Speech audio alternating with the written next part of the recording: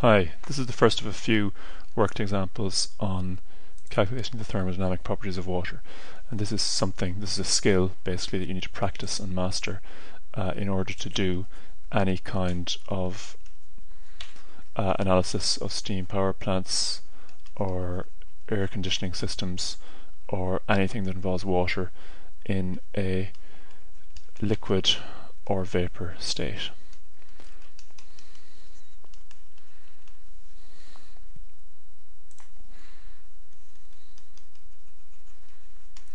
First example that we're going to look at is this thing here.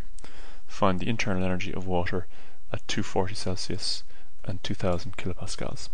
So the first thing that I advise you to do, particularly when you're learning this and uh, practicing it, is to draw some kind of a phase diagram. This will really help us to visualize and think about the state that our water is in.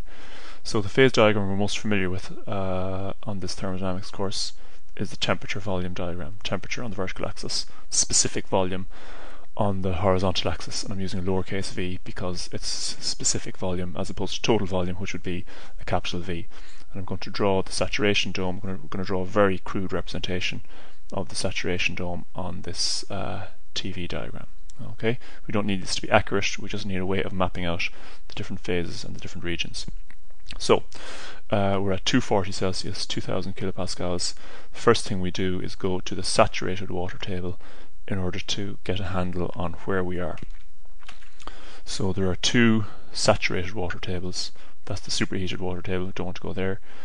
Uh, we've got the saturated water pressure table and the saturated water temperature table. We know both the temperature and the pressure in this particular problem, so it doesn't really matter which one we look at. Uh, let's look at the temperature table we go down to 240 Celsius and we find that the saturation pressure is 33.44 bar. So let me make a note of that.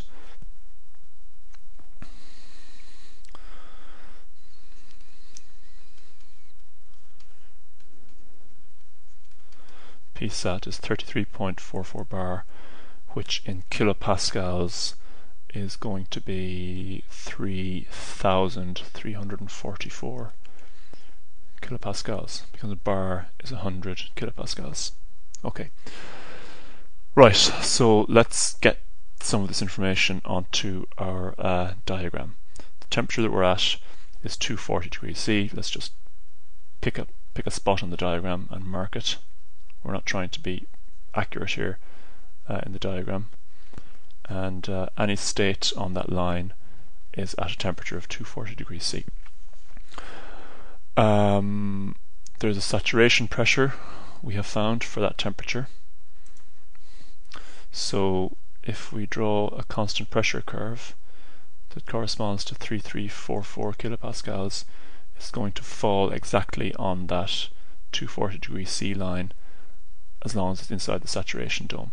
So that curve there is the constant pressure curve for 3344 kilopascals.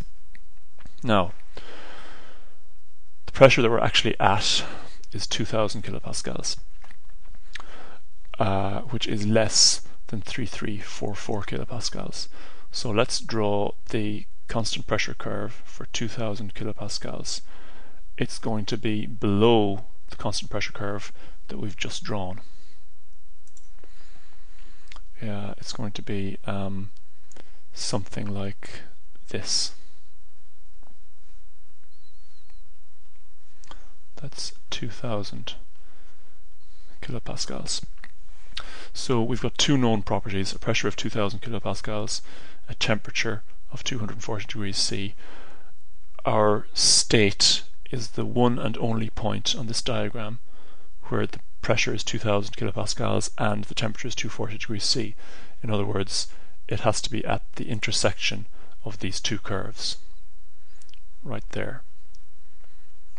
Okay, so that tells us uh, by a sort of graphical method that our um, state is in the superheated uh, vapor region.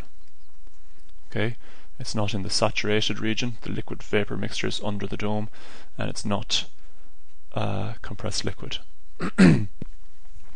so we can conclude from look from looking at the diagram and thinking about the diagram that we have superheated vapor. We don't need to do the diagram to uh, to, to find that out. We could have just deduced it by looking at the tables, but as I said, it helps to draw the diagram to visualize uh, this stuff.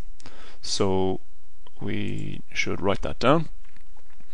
Um, the reason we have decided that it's superheated vapor is that the pressure is less than uh, saturation pressure P subscript SAT, which implies that we have uh, superheated vapor, S slash H, VAP for short. Okay, so the significance of that now is that it tells us which table we need to go to. We need to go to the uh, superheated vapor table. So go back to our tables. That's the saturated water pressure table. Here's the superheated water vapor table. And on the superheated tables, uh, the superheated water table is really made up of a lot of uh, sub tables. So this region here, this table, is for a pressure of 0.06 bar. We've got a table here for uh, a pressure of 1.5 bar, and so on. Our pressure is 2000 kilopascals, which is 2 megapascals, and luckily for us, there is a table for exactly 2 megapascals. Also, luckily for us, there's a row in that table for exactly 240 degrees Celsius. So uh, finding our final answer is very easy then. We're looking for internal energy, which is lowercase u, specific internal energy, that is. Uh, and the answer is right here in the table, 2659.6 kilojoules per kilogram. So let's just write that down to finish things up. So U is, uh, I've forgotten what it was, 2659.6. And let's not forget the units. And that is our result.